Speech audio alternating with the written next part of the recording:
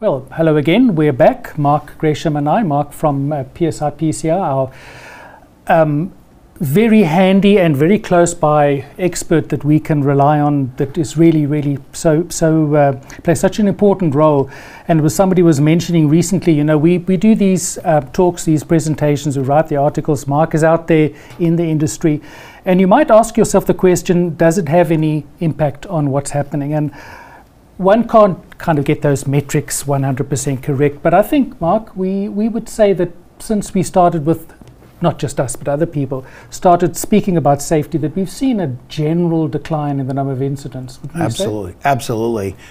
When our company was founded 40 years ago, it was common to have between 22 and 25 cylinder ruptures. That's just the scuba business on an annual basis. Last year and 2015, so 2015, 2023, zero that we know of. So that's a tip of a hat to the people that are diligent and trying to understand this information and apply the information. Moreover, question bad cylinders. I'm not sure, so we're questioning it. We didn't used to. We used to just fill it and say what could happen. So in today's world, we've made a remarkable gain in safety by questioning cylinders. It's easy to, to question a cylinder, set it aside, and don't fill it until we determine it's safe for use. But let's also be, I, I, would say, from an engineering point of view, they haven't really changed the manufacturing nope. specification. It's not really been a design issue, It's right. been more a user issue. Correct. Anyway, that's just um, something we thought we would share with you. The topic that we'd like to talk about today, and it's one that always makes makes me smile when I'm on a stage with Mark because we kind of approach this thing slightly differently, and that is when to oxygen clean something, whether it's the cylinder or the valve, or more importantly the regulator. And when we say oxygen clean, what do we mean? What mean? What does oxygen mean? It doesn't mean necessarily 100%. Right. So some people will say oxygen means 99% oxygen. The purists amongst us would say that anything above 21% air or any other gas is essentially enriched air or what we call oxygen enriched.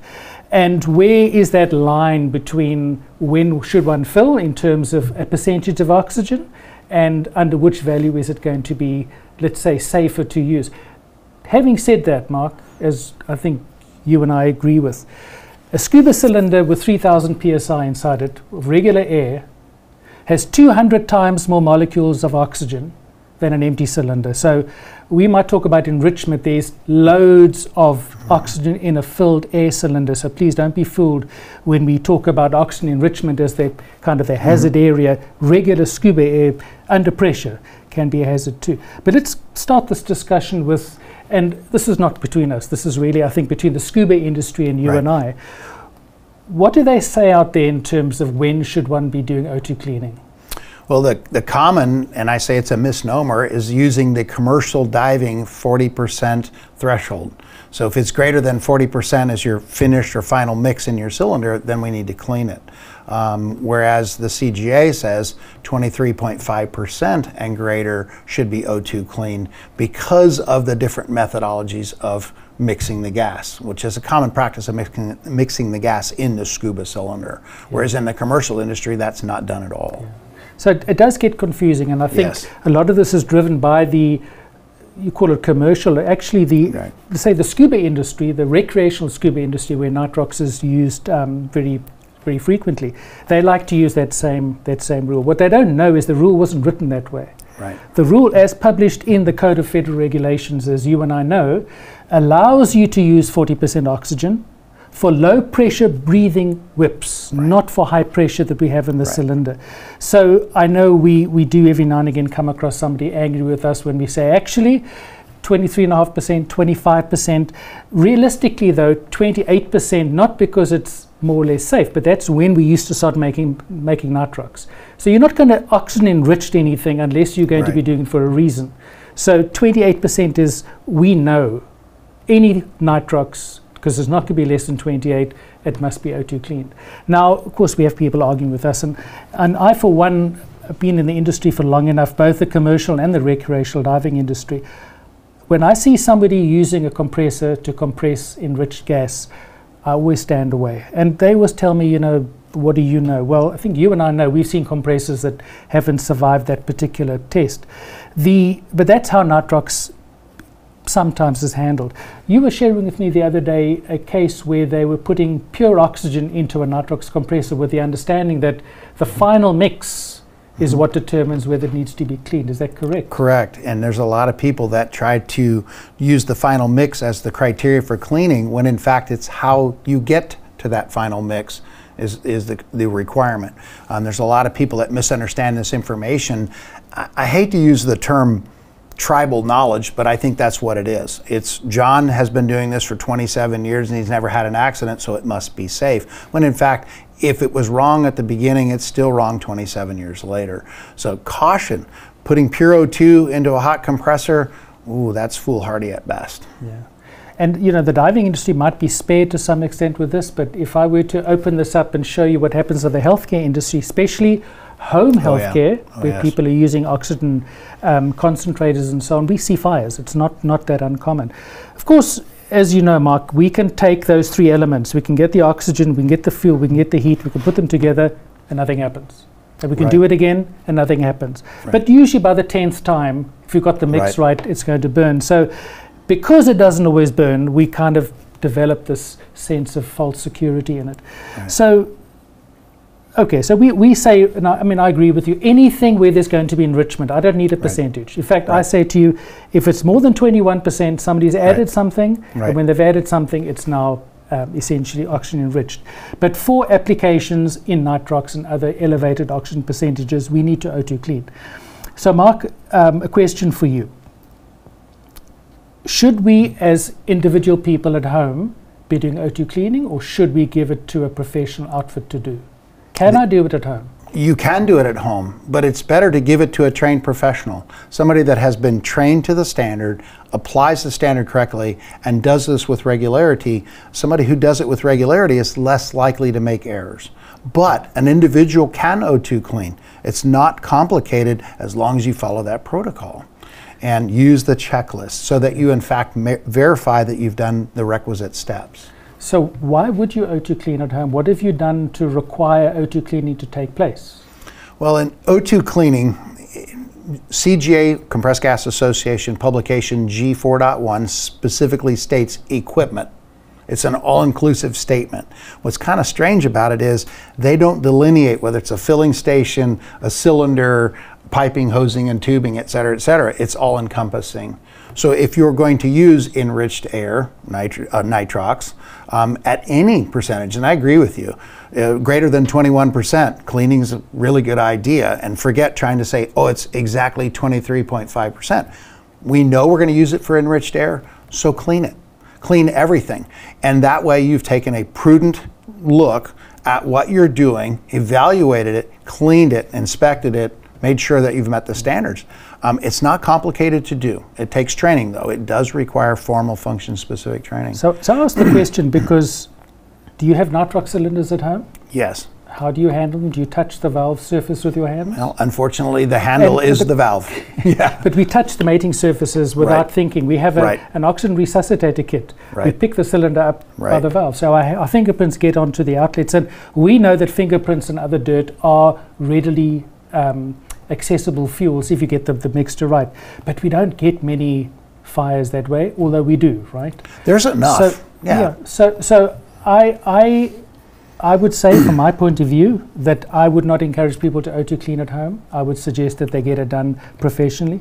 Maybe for them and their own risks, you know, it's it's one issue, but all it needs is somebody else to pick up that cylinder and use it. Right. And we had a very, very famous case here in the U.S. several years ago, where the somebody died as a result of an explosion. Right. There are many, many factors in this case that make my hair stand on end. Um, so I don't agree with the judgment that was given, but that's just because I tend to be a bit more pragmatic than emotional about these things.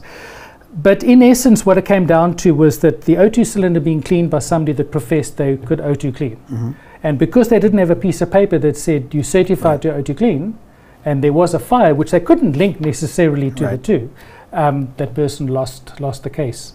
So I would caution you if you if you're going to be doing nitrox uh, diving and you're concerned your cylinder's been lying in the back of the car, your regulator might have been lying somewhere. I would certainly wipe it down. Um. And if you want to know what you can use, you can use regular dishwashing liquid as long as it has no additives. So no Correct. perfumed dishwashing liquid. Make sure that you, you rinse it off thoroughly afterwards. But that's really going to be an in the field type clean.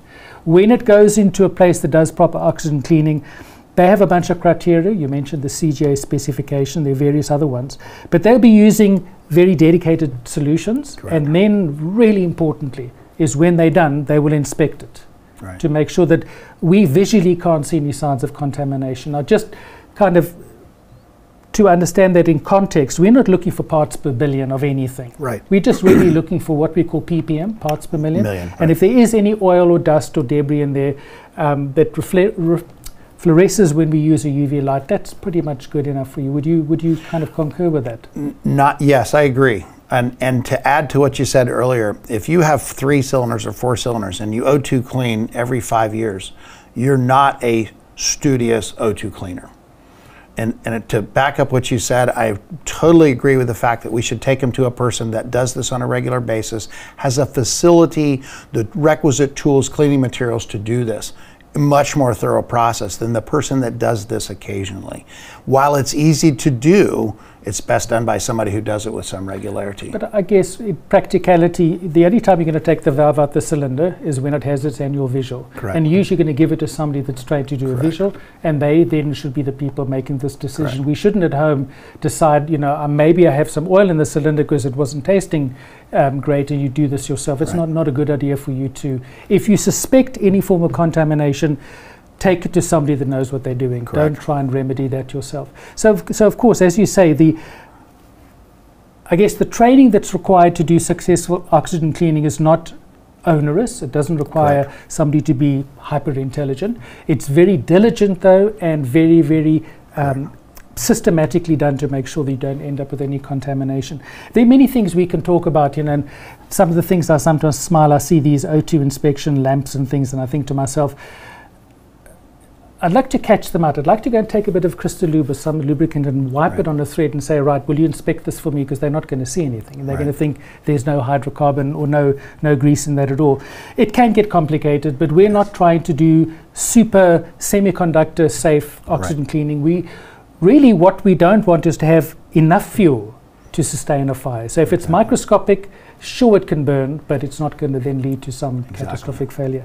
So it's not really contentious. It's just kind of that purist dis- discussion. And, and where it comes from from me is you're not going to intentionally add oxygen to anything unless you're going to go to 32% is really where most nitrox Right. diving is. Right. You need to c- O2 clean for 32%. And the 40% myth, please do not put 40% nitrox in a, in a system that hasn't been properly uh, cleaned. And please don't bleed 100% oxygen through the compressor to make nitrox. So some, some practical things. I mean, it's an industry Agree. where we've seen things happen, and most of the time it's taken a lot of digging around afterwards to figure out where the problem actually occurred. Oxygen is supports combustion very rapidly under pressure. If you try to light a fire in a 200 bar cylinder, let's say you manage to do that, it's going to burn about 10 times faster than it would sitting here on the desk.